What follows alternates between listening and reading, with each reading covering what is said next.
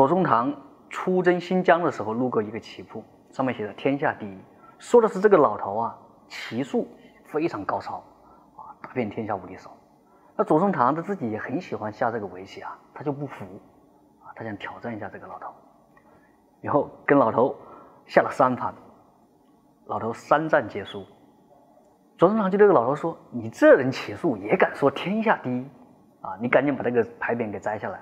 如果我班师回朝的时候，你这个牌匾还在的话，我就把你给店铺给砸了。”等这个左宗棠打赢了，然后班师回朝，再次路过这个棋铺啊，发现这个天下第一还在。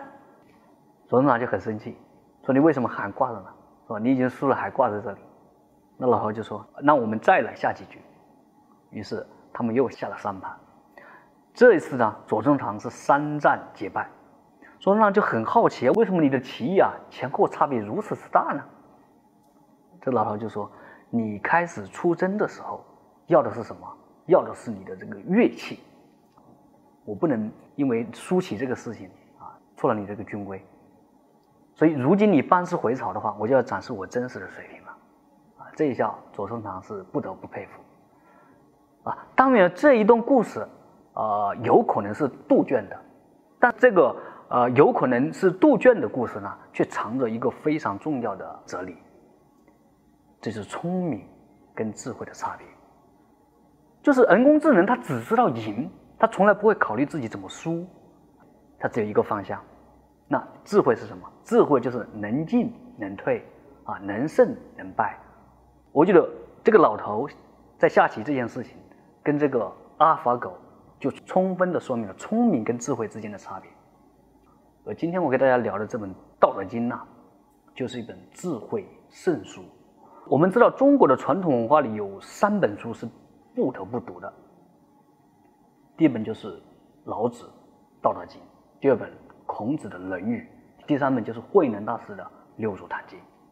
这三本书的作者啊，被称之为东方三圣。所以今天我们聊的这个《道德经》呢，是一本非常接地气的书。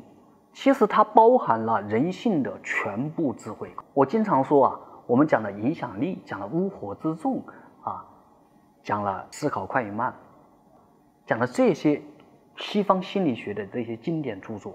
但是在《道德经》里面，其实都说过，西方人只是证明了《道德经》的厉害，《道德经》对人性的洞察已经到了炉火纯青的境界。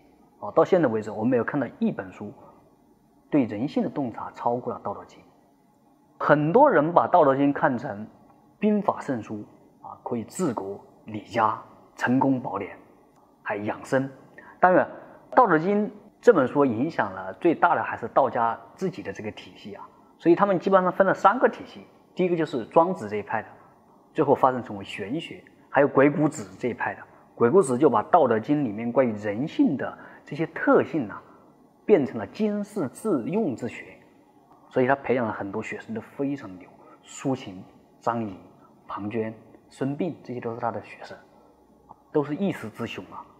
可以说，苏秦、张仪都是拨弄战国风云几十年的人，整个上国这些群雄都是受着这两个人的掌控。当然，还有一派就是养猪这一派的，养猪学派就把《道德经》啊变成一个。养生的这个学派，所以很多人把《道德经》看成是养生的啊，都有。